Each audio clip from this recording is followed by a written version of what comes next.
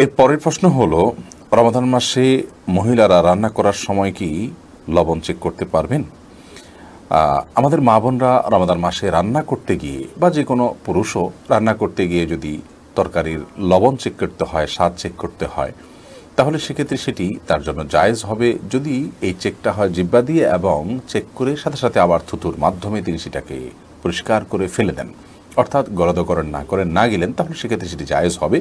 যদিও এটা অ্যাভয়েড করতে পারলে সেটা বেটার এবং উত্তম।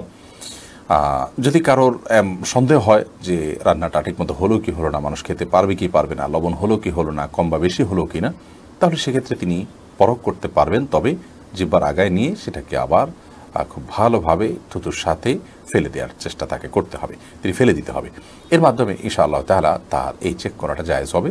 তবে যাদের মোটামুটি অনুমান হয়ে গেছে, আন্দাজ হয়ে গেছে, খুব একটা প্রয়োজন হয় না, তারা এটা অ্যাভয়েড করতে পারলে অবশ্যই বেটার এবং ভালো। এরপরে মার্জি আক্তার, আপনি লিখেছেন, রমজান মাসেও শুক্রবারে আপনার সাপ্তাহিক প্রশ্নোত্তর লাইভ কি চলবে? এই প্রশ্নোত্তরের লাইভ চলমান থাকলে এর টাইম শিডিউল কি হবে?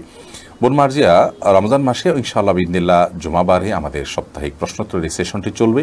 তবে রাতের বেলায় না হয়ে সেটি দুপুর বেলা হবে। আপনাদের যদি কারোর ভিন্ন মত থাকে অনেকে রমাদান মাসে রাতে ঘুমান না রাত ভরে ইবাদত বন্দিগি বা অন্যান্য কাজকাম করেন, দিনে ঘুমিয়ে থাকেন।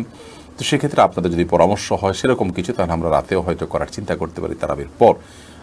তবে সচরাচর আমরা যেটি করে থাকি তা হলো দুপুরে, জুমার দিন দুপুর দুইটার পরে আমরা সাধারণত লাইভ সেশনটি করে থাকি।